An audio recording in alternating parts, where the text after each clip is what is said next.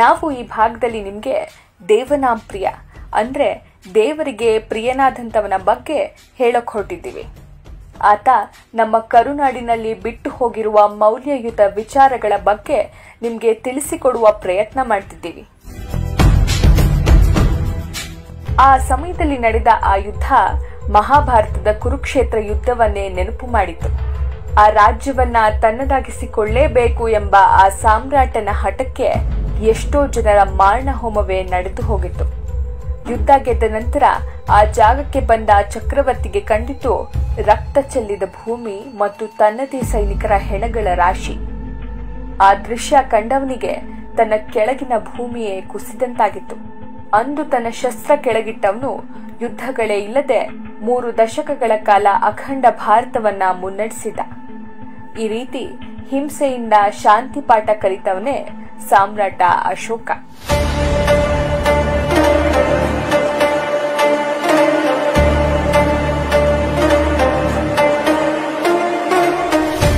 ಕಳಿಂಗ ಯುದ್ಧ ನಂತರ ಅಲ್ಲಿನ ಭೀಭತ್ಸ ದೃಶ್ಯದಿಂದ ಮನನೊಂದ ಅಶೋಕ ಬೌದ್ಧ ಧರ್ಮದ ಅನುಯಾಯಿಯಾಗಿ ಶಾಂತಿ ಮಂತ್ರವನ್ನ ಎಲ್ಲೆಡೆ ಪಸರಿಸಲು ಪ್ರಾರಂಭಿಸುತ್ತಾನೆ. ಈ ಮೂಲಕವೇ ಅಶೋಕನಿಗೆ ಕರ್ನಾಟಕದ ಜೊತೆಗಿನ ನಂಟು ಆರಂಭಗೊಳ್ಳುತ್ತದೆ. ಈ ಧರ್ಮವನ್ನ ಪ್ರಚುರಪಡಿಸುವ ಸಲುವಾಗಿ ಅವನು ಆಯ್ದುಕೊಳ್ಳುವ ಭಾಗಗಳಲ್ಲಿ ಕರ್ನಾಟಕ ಪ್ರದೇಶವೇ ಪ್ರಮುಖವಾದದ್ದು. ಅದರಂತೆ ಬೌದ್ಧ ಧರ್ಮ ಪ್ರಚಾರಕ್ಕಾಗಿ ತೇರಾ ಮಹಾದೇವ ಎಂಬುವನನ್ನು ಮಹಿಷ ಮಂಡಲಕ್ಕೆ, ಅಂದರೆ ಇಂದಿನ ಮೈಸೂರಿಗೆ, ರಕ್ಷಾ ಎಂಬುವನನ್ನು ಬನವಾಸಿಗೆ, ಮಹಾರಕ್ಷಿತ ಎನ್ನುವವನನ್ನು ಮರಾಠ ಮಂಡಲಕ್ಕೆ ಕಳುಹಿಸಿಕೊಡಲಾಯಿತು ಎಂದು ಹನ್ನೆರಡನೇ ಶತಮಾನದ ಕುಂತಲ ಪ್ರದೇಶದಲ್ಲಿ ಸಿಕ್ಕ ಶಾಸನ ಹೇಳುತ್ತದೆ. ಇದನ್ನು ಪುಷ್ಟೀಕರಿಸುವಂತೆ ಸಾವಿರದ ಎಂಟುನೂರ ತೊಂಬತ್ತೆರಡರಲ್ಲಿ ಚಿತ್ರದುರ್ಗದ ಮೊಳಕಾಲ್ಮೂರಿನಲ್ಲಿ ಸಿಕ್ಕ ಶಾಸನದ ಆಧಾರದ ಮೇಲೆ ಅಶೋಕನ ಮಹಿಷ ಮಂಡಲದ ಸಂಬಂಧವನ್ನ ಹೇಳಬಹುದಾಗಿದೆ. ಜೊತೆಗೆ ಕ್ರಿಸ್ತಪೂರ್ವ ಮುನ್ನೂರರಲ್ಲಿ ರಾಯಚೂರು ಜಿಲ್ಲೆಯು ಅಶೋಕನ ಆಳ್ವಿಕೆಗೆ ಒಳಪಟ್ಟಿತ್ತು ಎಂದು ನಾಗಾರ್ಜುನಕೊಂಡದಲ್ಲಿ ಸಿಕ್ಕ ಕಾಲಚ್ಚಿನ ಶಾಸನ ಸಾಬೀತುಪಡಿಸುತ್ತದೆ.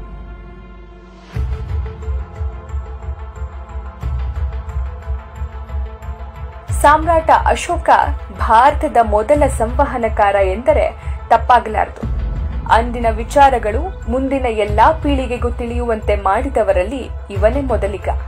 ಇದನ್ನು ಸಾಧಿಸಲು ಆತ ತನ್ನ ಆಳ್ವಿಕೆಯ ಕಾಲದಲ್ಲಿ ಅನೇಕ ಶಿಲಾಶಾಸನಗಳನ್ನು ಬರೆಸಿದ್ದ. ವಿಶೇಷವೆಂದರೆ ಆತ ಬರೆಸಿದ ಹೆಚ್ಚಿನ ಶಿಲಾಶಾಸನಗಳು ದೊರೆತಿರುವುದು ನಮ್ಮ ಕನ್ನಡ ಮಣ್ಣಿನಲ್ಲಿ. ಇದು ಒಂದು ರೀತಿಯಲ್ಲಿ ಅಶೋಕನಿಗೆ ಕರುನಾಡ ಜೊತೆಗಿದ್ದ ಅವಿನಾಭಾವ ಸಂಬಂಧದ ಬಗ್ಗೆ ಹೇಳುತ್ತದೆ. ಆ ರೀತಿ ದೊರೆತ ಶಾಸನಗಳಲ್ಲಿ ಮಸ್ಕಿ ಶಾಸನಕ್ಕೆ ವಿಶಿಷ್ಟ ಸ್ಥಾನಮಾನವಿದೆ.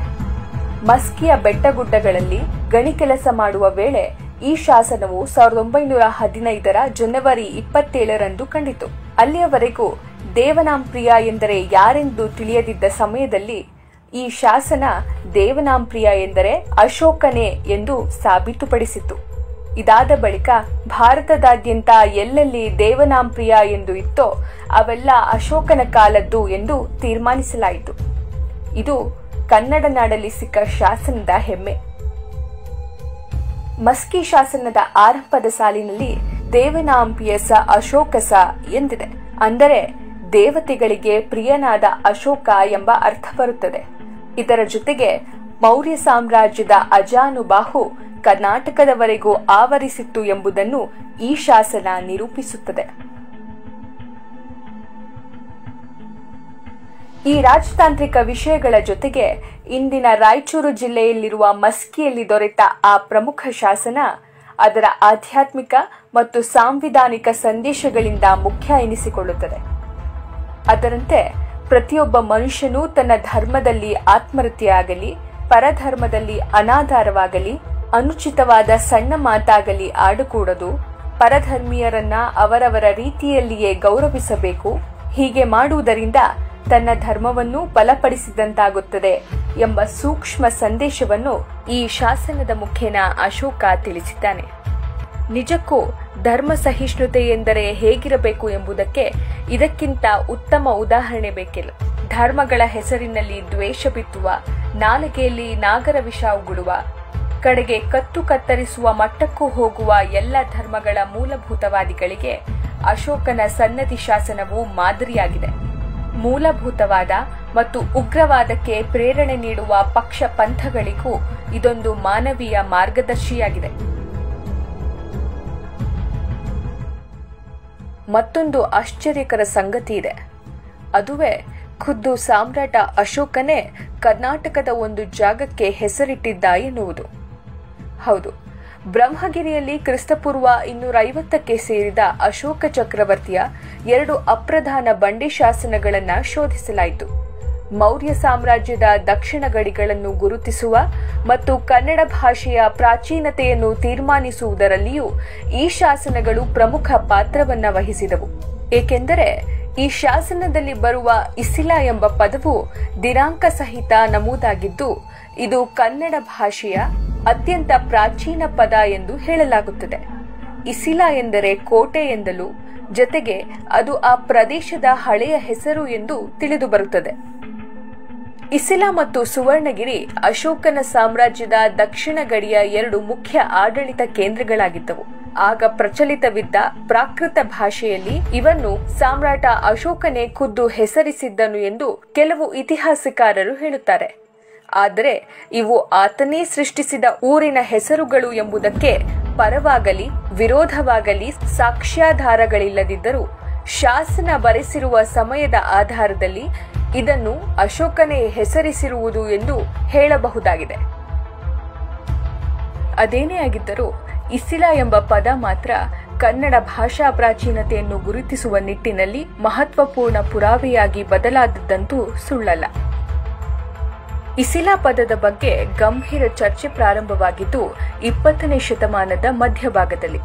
ಸಾವಿರದ ಒಂಬೈನೂರ ಐವತ್ತಾರರಿಂದ ಐವತ್ತೆಂಟರ ಅವಧಿಯಲ್ಲಿ ಪ್ರೊಫೆಸರ್ ಡಿಎಲ್ ನರಸಿಂಹಾಚಾರ್ಯರು ಮಾಡಿದ ಒಂದು ಉಪನ್ಯಾಸದಿಂದ ಈ ಚರ್ಚೆ ಆವೇಗವನ್ನ ಪಡೆಯಿತು. ಕ್ರಿಸ್ತಪೂರ್ವ ಮೂರನೇ ಶತಮಾನದ ಅಶೋಕನ ಬ್ರಹ್ಮಗಿರಿ ಶಾಸನದಲ್ಲಿ ಬರುವ ಇಸಿಲಾ ಪದ ದ್ರಾವಿಡ ಪದವಾದರೆ ಕನ್ನಡ ಪದವಾಗುವ ಸಾಧ್ಯತೆಯೇ ಹೆಚ್ಚು. ಇಸಿಲ ಕನ್ನಡ ಪದವಾಗಿದ್ದರೆ ತಮಿಳಿನಲ್ಲಿ ಅದರ ಜ್ಞಾತಿ ಪದವು ಎಸಿಲ ಆಗುವುದು. ಅಂದರೆ ಬಾಣ ಬಿಡುವ ಜಾಗ ಅಥವಾ ಕೋಟೆಯಿಂದ ಆವೃತವಾಗಿರುವ ಪಟ್ಟಣ ಎಂದು ಅವರು ಅಭಿಪ್ರಾಯಪಟ್ಟರು. ನರಸಿಂಹಾಚಾರ್ಯರಂತೆ ತೀನಂಶ್ರೀ ಅವರು ಕೂಡ ಇದೇ ಅಭಿಪ್ರಾಯವನ್ನು ಮಂಡಿಸಿದ್ದರು. ತೀನಂಶ್ರೀ ಅವರ ಉಪನ್ಯಾಸಗಳಲ್ಲಿ ಭಾಗಿಯಾಗಿದ್ದ ಇತಿಹಾಸಕಾರ ಪ್ರೊಫೆಸರ್ ಚಿದಾನಂದ ಮೂರ್ತಿ ಅವರು ಆ ಅಭಿಪ್ರಾಯಗಳನ್ನು ಸಂಗ್ರಹಿಸಿ ಸಾವಿರದ ಒಂಬೈನೂರ ಎಪ್ಪತ್ತೆರಡರ ಸಾಧನೆ ಸಂಚಿಕೆಯಲ್ಲಿ ಬರೆದ ಲೇಖನದಲ್ಲಿ ಇಸಿಲ ಪದ ದಾಖಲೆಗೆ ದೊರಕುವ ಮೊದಲ ಕನ್ನಡ ಪದವೆಂದು ವಾದ ಮಂಡಿಸಿದರು. ಕ್ರಿಸ್ತಪೂರ್ವ ಮೂರನೇ ಶತಮಾನಕ್ಕಿಂತ ಮುಂಚೆಯೇ ಕನ್ನಡ ಪದಗಳು ಬಳಕೆಯಲ್ಲಿದ್ದವೆಂಬುದನ್ನು ಇದು ತೋರಿಸಿಕೊಡುವುದೆಂದು ಪ್ರತಿಪಾದಿಸಿದರು. ಈ ಹೆಸರಿನ ಊರು ಈಗ ಇರದಿದ್ದರೂ ಶಿವಮೊಗ್ಗ ಜಿಲ್ಲೆಯ ಹದಿಮೂರನೆಯ ಶತಮಾನದ ಶಾಸನವೊಂದರಲ್ಲಿ ಬರುವ ಇಸಿಲಾಪುರದ ಬಗ್ಗೆ ಹಾಗೂ ಎಸಲಾಪುರ, ಎಸೂರು, ಎಸಲೂರು ಎಂದು ಈಗಲೂ ಚಾಲ್ತಿಯಲ್ಲಿರುವ ಊರುಗಳ ಹೆಸರುಗಳ ಬಗ್ಗೆ ಅವರು ಗಮನ ಸೆಳೆದು ತಮ್ಮ ವಾದವನ್ನ ಗಟ್ಟಿಗೊಳಿಸಿದರು. ಈ ಮೂಲಕ ಇಸಿಲವೇ ದಾಖಲೆಗೆ ಸಿಗುವ ಅತಿ ಪುರಾತನ ಕನ್ನಡ ಪದವೆಂಬ ಅಭಿಪ್ರಾಯ ಗಟ್ಟಿಯಾಗಿ ತಳವೂರಿತು. ಆದರೆ ಈ ಚರ್ಚೆಯನ್ನ ಒಪ್ಪದ ಭಾಷಾ ವಿದ್ವಾಂಸ ಶಾ ಶೆಟ್ಟರ್ ಅವರು ಇಸಿಲ ಕನ್ನಡದ್ದೇ ಪದ ಎಂಬುದಕ್ಕೆ ವಾದಗಳ ಹೊರತಾಗಿ ತಾರ್ಕಿಕ ಪುರಾವೆಗಳಿಲ್ಲ. ಹೀಗಾಗಿ ಇದನ್ನು ಕನ್ನಡದ ಪದ ಎಂದು ಸಾರಾಸಗಟಾಗಿ ಒಪ್ಪಲಾಗದು ಎಂದು ತಮ್ಮ ಕೃತಿಯಲ್ಲಿ ಬರೆದಿದ್ದಾರೆ. ಹೀಗೆ ಹೇಳಿದ ಅವರು, ಇದಕ್ಕೆ ಪರ್ಯಾಯವಾಗಿ ಇಸಿಲ ಕನ್ನಡವಲ್ಲದ ಮಾತ್ರಕ್ಕೆ ಕನ್ನಡ ಭಾಷೆ ತನ್ನ ಪ್ರಾಚೀನತೆಯನ್ನೇನು ಕಳೆದುಕೊಳ್ಳುವುದಿಲ್ಲ.